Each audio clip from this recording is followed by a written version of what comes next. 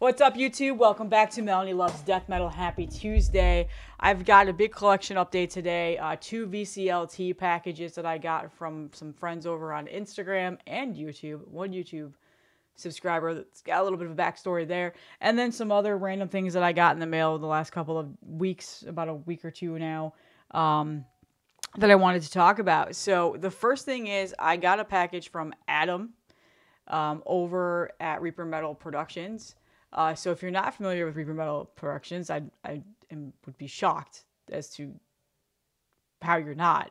Uh, but Reaper Metal is Adam and Craig Horval, yes, or he goes by Reaper, uh, who used to have the Hellcast way back in the day, uh, where him and Justin did podcasts, and, and obviously Craig did them.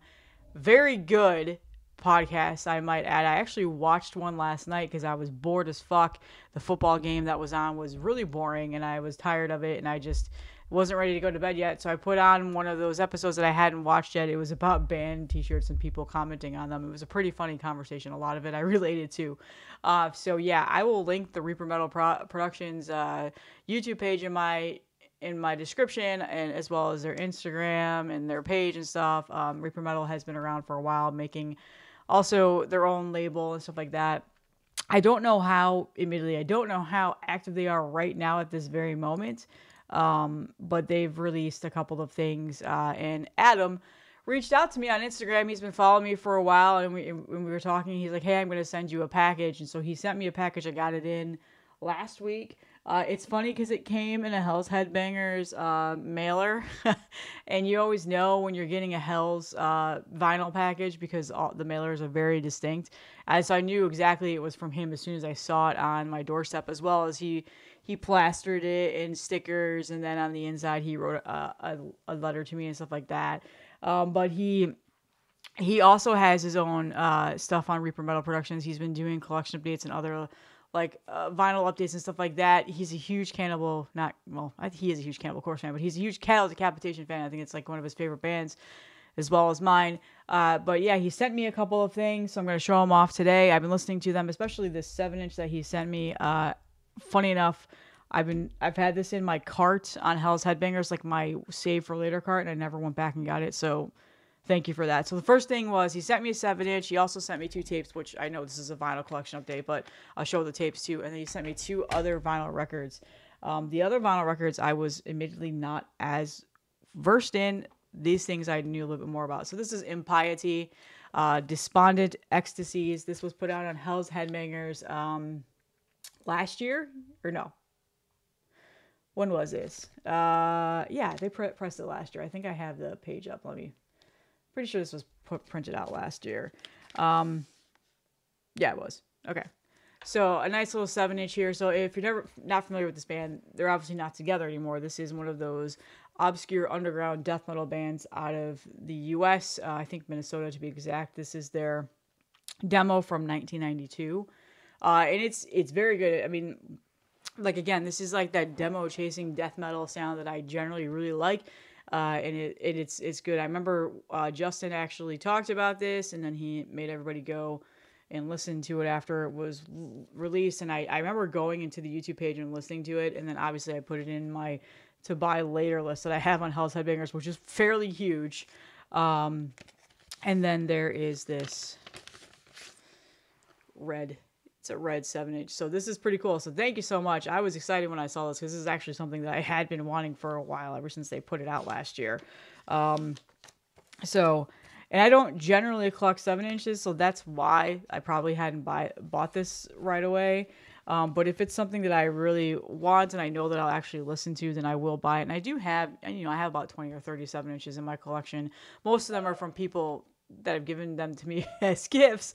Uh, but yeah, um, I actually I know I dog on seven inches a lot about how I don't like collecting them, but I one of my friends on Instagram started collecting them again, and he's been showing off all these like underground old school death metal relics that he's been finding and and I of course am just like oh that would be fun to at least collect that and look for those. So I'm like, I really, really do not need to get into that whatsoever. Um, so yeah, I don't know. I might I might start. I don't know. We'll see. Uh, we'll see. I I don't need to start collecting any other type of vinyl records. A seven just I could feel like would would get addicting for me.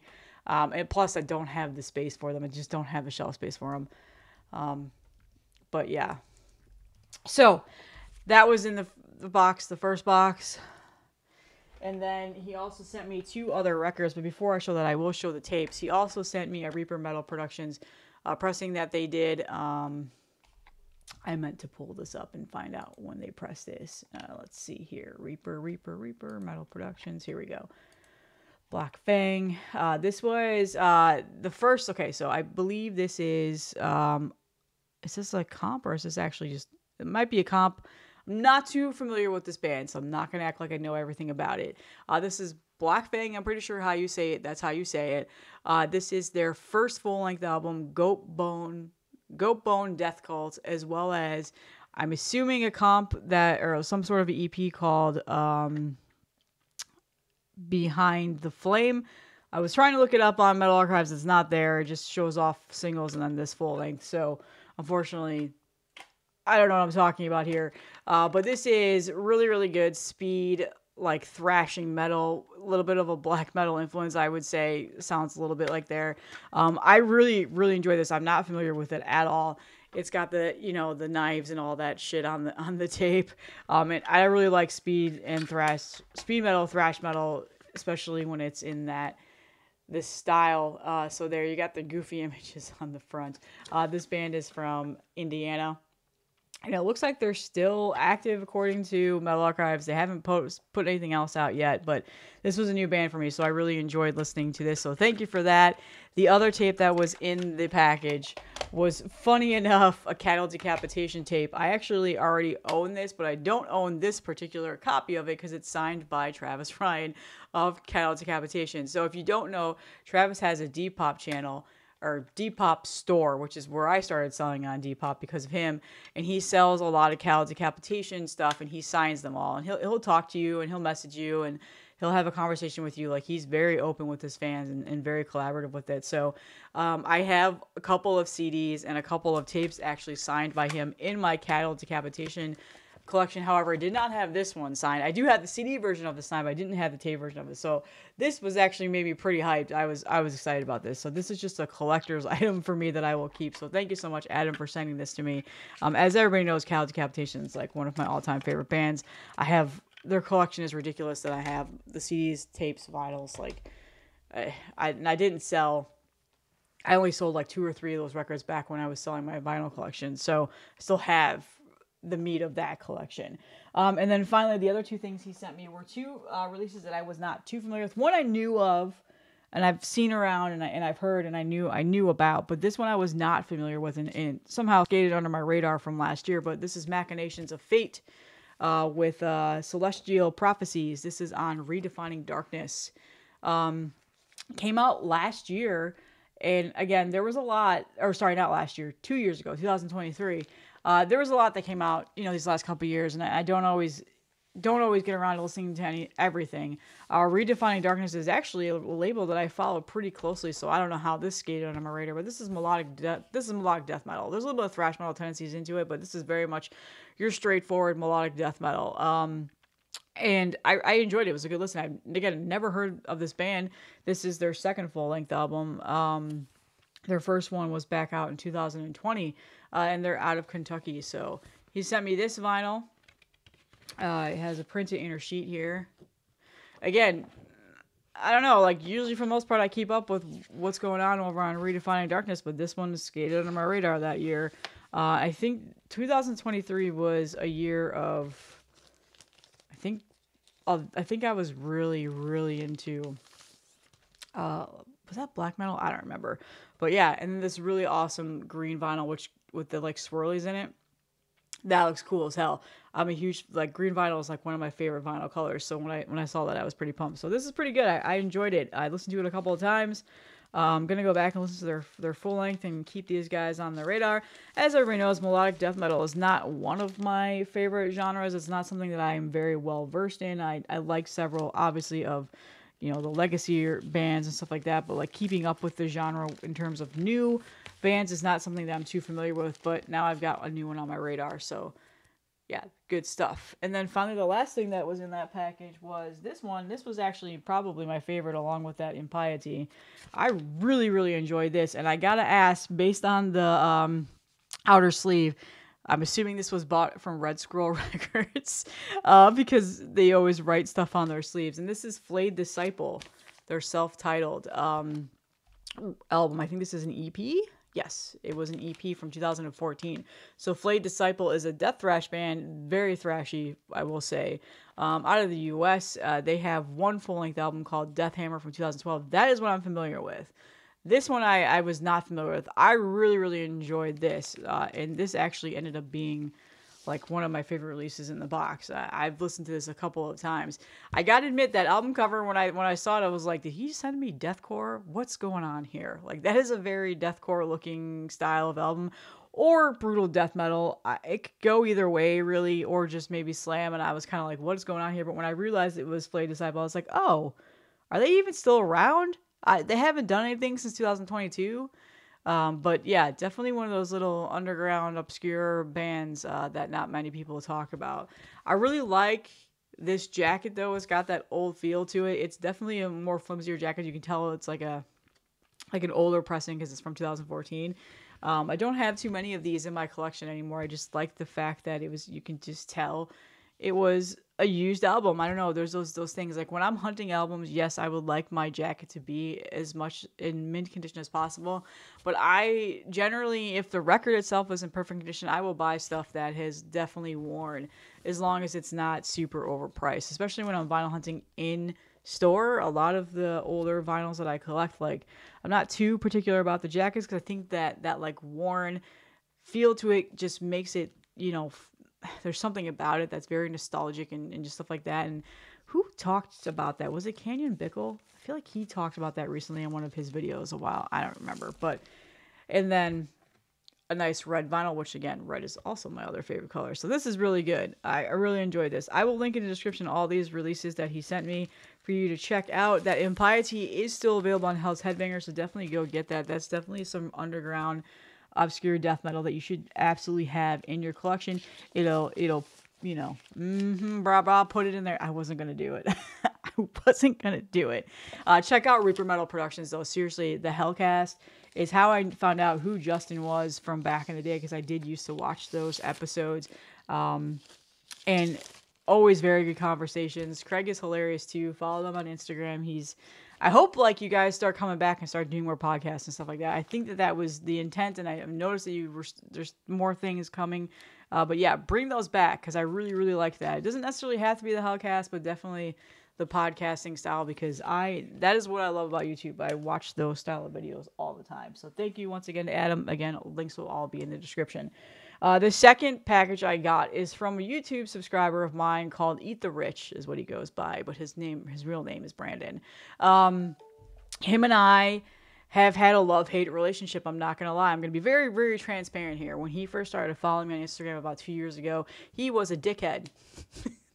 a dickhead. He was that dickhead commenter that always came in and tried to mansplain shit to me and tell me that I'm listening to garbage music and whatever else. Uh, and then and then I guess like it got to a point where I, I realized he was really just trolling me um, and was in love with me. So I figured, you know what, this guy, I'm not gonna block him. I'll give him a chance. Uh, it turns out we're actually turning out to be pretty good friends now. We talk quite a bit. He does not like a lot of stuff that I post, but he also does listen to garbage death metal. So he's one of those guys. He'll he'll shit on it, uh, but then he also buys it. And I have an example of that in this package that he sent me. When I opened it yesterday, I about shit myself when I saw the vinyl in there. Uh, so, yeah, I mean, YouTube is what it is. There's a lot of shit talk, there's a lot of banter that goes on. There are the trolls that tend to piss me off, and we all know that, especially when they get personal, and that's when I block them from the channel. Uh, but then there's the trolls that are just like, whatever, man. Like, I don't care. Like, you hate it. Cool. Um, and that's just how it is with social media but this is this is a nice a nice little uh, happy ending here. Him and i became friends. We talk quite a bit on instagram and on youtube. We, we comment back and forth on things. Uh, so thank you so much for sending me this package. Two of the one of these things i it was shocked about so i'll save that for last. But the first record that he sent me which made me i was like, wow, okay, thank you, was the new Fossilization album from last year, um, Leprous Daylight on Everlasting Spew. So I've actually been wanting this on vinyl for a very long time, ever since it came out.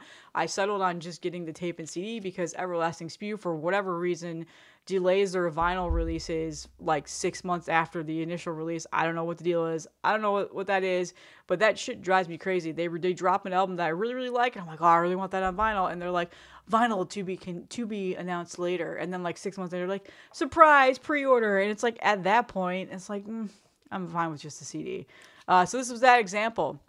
This is really, really good. Really, really good. Disso Death, Do Me, Disso Death. I've talked about this last year. This was on my year end list. Um, I absolutely love this band. So thank you so much. Um, I will. Here's a here's a Bandcamp code if you want to pause the video and steal it. Again, a disclaimer: if you watch this a week from today or, or a month, a year, this will probably be claimed. Don't get upset for me for not cutting it out. Um, but yeah, here's the jacket. These are can be found just about anywhere now. Pretty much every distro has this. Indie Merch has it. I'm pretty sure Night Shift has it. So they're very uh, accessible now. I have a feeling that's because they were pressed so much later after the release. I don't know what that's about. I wish Everlasting Spew would prioritize their vinyl pressings. I know they were pr- predominantly a CD only label and tapes, you know, started coming into the mix and now vinyl.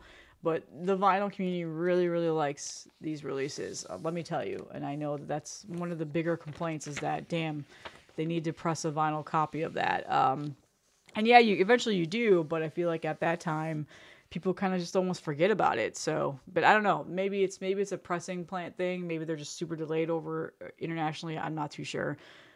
I'll hit up Tito and ask him. He messages me enough. Honest.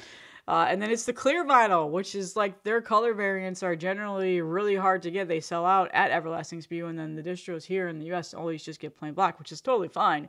Uh, but he got me the clear vinyl.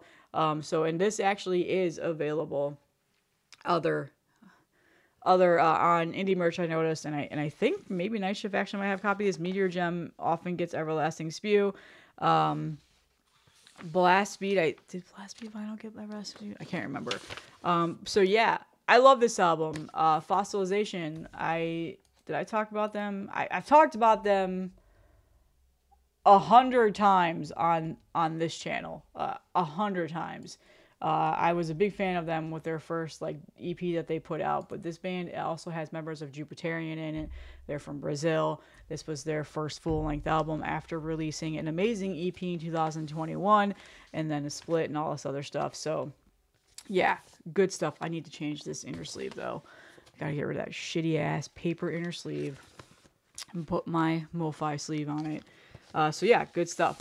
Thank you so much, Brandon. I, I appreciate it. Um, this made me happy. But then the next one, the next one, when I saw it, I was like, what the fuck is going on here? Uh, so, like I said, he hates like the dummy, brutal death metal stuff. Like, he often kind of kind of gives me flack for liking, you know, some of the like knuckle dragging, cavernous, uh, maggot stomp stuff like that. Like that's where the trolling started with him uh, on my channel because he was just not a fan of that style of death metal. Uh, and I think a lot of it was just initially just trolling because I do know that he does like some of it. Um, so this one I was not expecting to see in the package for that reason. I, this has been on my radar. I've, I've listened to it. I've seen it around on social media. It's a very hot social media presence in the scene right now in terms of the band and who they are. Uh, but this uh, this was shocking, and I don't know if this was a troll or what was going on with this. Um, I he sent me the new Torture album, Enduring Freedom.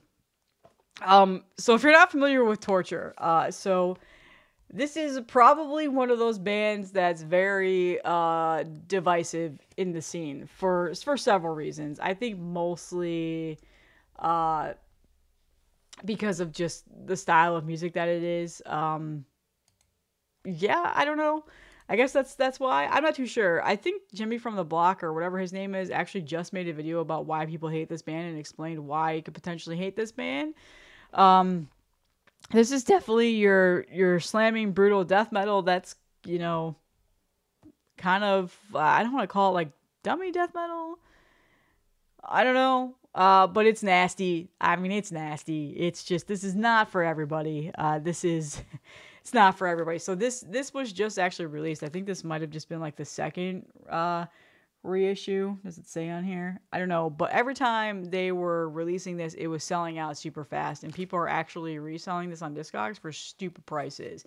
Um, so the band is um, I'm pulling it up right now because I forgot to pull it up. I I forgot to. Uh, so yeah, the band essentially quit on their uh their latest uh, tour. Like the whole band quit, with the exception of um the main guy behind it, who I'm blanking on his name right now, like he's still there, but the whole the rest of the other band quit. That's some of the drama that I saw. I don't know the reason behind it, but they're from um, they're from Chicago, um, and this is they've actually had a couple of full lengths out. They've got one, two, three. This is their fourth full length out. Um, Enduring Freedom. So this is the only one that I'm familiar with. I, I saw this circulating on Twitter a couple of months ago when this came out back in September, and just you know, of course, there was the naysayers there, and people were really upset about it.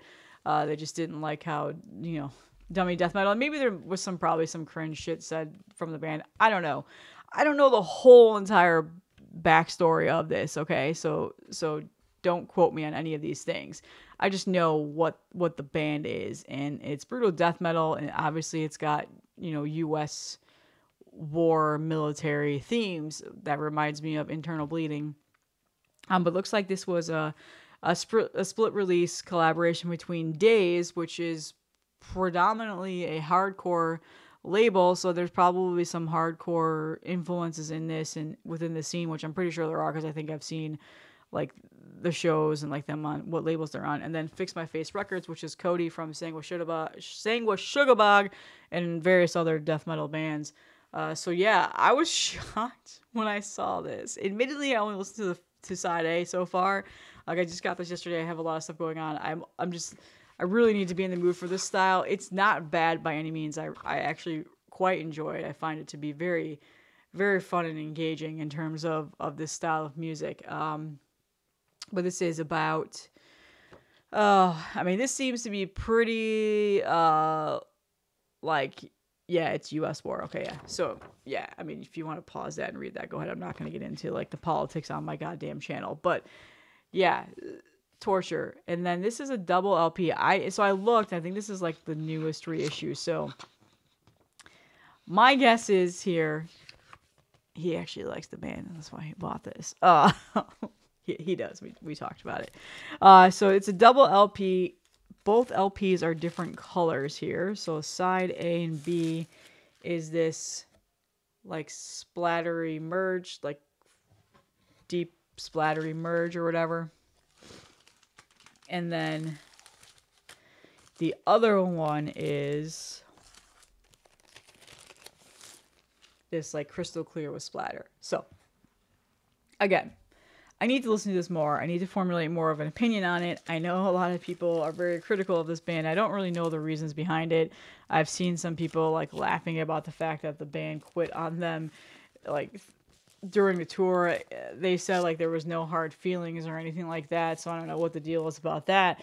But I do know that they have a very culty fan base and when they press stuff, especially on tape and, and vinyl, they sell out super fast and then they, they sell for stupid prices on on Discogs. So, yeah, thank you so much, Brandon. That's my VCLT for this episode. We are 24 minutes in. God damn it. Well, I'm still going to show off these last three albums because yeah, they're things that I've already talked about on here for the most part. So, Torture. Links will be in the description for that. Okay. Two new vinyls that came in fairly recently I got from Vinyl Command. Both things I've already talked about on the channel, but I'll show them off finally got the new Witch Vomit on vinyl. This is one of my favorite releases this year. It's it's growing on me so much. Like when I first initially came out, I was not the biggest fan of it yet, but I've listened to this just about every day now. I'm I'm a huge fan of this album. So, uh, Funeral Sanctum, twenty bucks spin. I finally I saw that Vinyl Command had this in stock. It was a really good price. He does not price gouge whatsoever. Um, and yeah, I did a whole entire video just on this album uh, when I got the tape when it first came out. Um, but yeah, it's a really nice pressing. The back, it's got the the blue flooding. I like that. Twenty bucks spin has been doing that a lot lately. Um, this is the uh, front cover is Matt Steiker, who is just one of an amazing artist, and then Lucas Court uh, did a lot of the like additional artwork in here. So, and then 20 Buck Spin had been doing this, and I realized the last couple releases they hadn't been, but they give you a huge ass poster of the album cover, which I am definitely going to hang this because I love this album cover. I love it. It's awesome. And then here is the vinyl. Uh, this is, it doesn't say, oh, it's the B2 variant, uh, which goes really well. The coloring goes really well. I really like that color. I think it looks awesome. So, this was a very blue package that I got from Vinyl Commands. This is their third full length album. If you're not familiar, Witch Vomit, I feel like at this point, if you've been watching me for so many years, you know I love this band and, and I've shown off all of their other albums on here and you're familiar and yeah, yeah, yeah. So that was in the package. And then I also got this one. This was the reason why I made the order because I absolutely love this album this year and I've already shown it off. Um, because I got the CD uh, from Intuit Records. He sent me a huge package, and there was a bunch of CDs in there, and, and I was happy when I saw the CD in there. Uh, Raw Schools, Raw Schools, put it out uh, the CD, but this is now on. They are now on carbonized um, uh, records. Jesus, talking is hard, and they pressed it on vinyl, and that is a new Eternal album, Cryptic Lust. Uh, death metalers out of Arizona. This is their first length album that came out this year, earlier in the year. This is by far one of my favorite death metal releases this year. Like, I fucking love this album. It is so good. So, as soon as I saw that they got put on carbonized and that they repressed this vinyl, I was like, I am getting that on vinyl because I love that album. So, I grabbed it through Vinyl Command. The reason for that is because he ships super fast. He has really good prices. I'm trying to support a you know a smaller local or well not local because he's out in Arizona, a smaller shop um, so awesome color coloring, similar to the witch vomit. Um, and yeah, it goes great with the jacket here. Uh, I will link in the description again. I've already talked about this, so you should already be familiar with this. I've shown it off a couple of times now, and then printed inner sheet here of lyrics in the band. Like this is this is this is really really done well. If you're an old school death metal head and you can't stand like the knuckle dragging, uh, cavernous caveman shit, you'll like this. Like they they ode to old school death metal in the best way possible. They do it really really well. Um, the artwork is done by Debbie Baddick. I, I said that way wrong. I know I talked about that in the last episode, but yeah, if you want to pause it's right there, I like the artwork. I think it's awesome. It actually kind of reminds me a little bit of the King Diamond show that I was at this past Saturday with the woman here who was basically just lurking around the stage the whole time. King Diamond was awesome on Saturday, by the way. Um, so yeah, Eternal. Got this vinyl command, and then one more. This is a longer video today. We're going on 30 minutes now. Another one of my favorite releases to come out this year. I feel like this one is definitely on the radar in terms of just if you're not like really into the underground death metal scene. Um, I found them on Bandcamp. That's how I know who they are and listened to it and really enjoyed the album. But they self released it um, and it was coming from Australia, and I was like, it was expensive to get. So and then I saw Gurgling Gore was going to be getting it in their distro, and they did. And as soon as he put it up for vinyl, I immediately snatched it. I'm glad I did because it sold out like an hour later. And that is the new Crypt Crawler with the Immortal Realm. So this band is out of Australia. This is their third full length album. I know their second full length. Familiar with that. I have need to go back and listen to Two to Grave, their first full length, but that was back in 2019.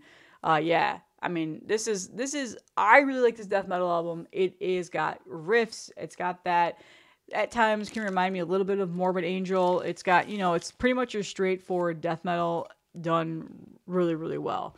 Uh, so here is the album artwork, um, which was done by, I'm blinking right now. I had it in my head. I talked about it on my Instagram. It's here. It's there. Elmar Dan Goldsworthy did the Elmart. So here's the printed inner sheet. Dan Goldsworthy has been doing a lot of Elmart lately for for a lot of death metal and metal bands as a whole. I think he did. Did he do the new Blood Feast album? I think he did. Or was it Evil Dead? It was Evil Dead, I think. Um, so there's that, and then it came on this awesome green vinyl. So very, very good. Um, death metal. I mean, you think based on the album cover that's going to be like murky and swampy. It's really not. It's pretty much your straightforward death metal with really good riffs, um, more higher clarity vocals, not so much of like the deep gurgles or anything like that. Um, so yeah, it, it's it's good. I really really like this album, and I've been spinning this a lot, so I'm really glad that I was able to get this. Uh, like I said, it's sold out on Gurgling Gore. I'm hoping that they get like they go through a label or get some sort of more mass distribution because this is hard. And there's been several people that have been try asking me like, "How did you get that? Where did you get that?" And I'm like, "Well." I got it through Gurgling Gore. I got really lucky, but it's the anticipated third full length album from Australia purveyors of death metal, featuring eight tracks about life, death, and beyond, limited to 150 copies. So, link will be in the description. Again, I, you might have to get this directly from Australia. I don't know. I don't know of any other U.S. distros that currently have this, or or Euro distros for that matter, because I know some of you guys are from the European area. Uh, but that's all. That's my hefty collection update today. I can probably do maybe one or two. Nah, you know, I don't know. I've got several new releases coming in. I actually have one coming in today. So these will continue, but they won't be as frequent as they had been, like I said in the last video. So thank you all for the support. Thank you, Adam and Brandon, for sending me this stuff. I'll, again, all links will be in the description where you can get this and listen to them. Check out Reaper Metal Productions. Um, yeah, that's all I have. I'll see you guys in the next one.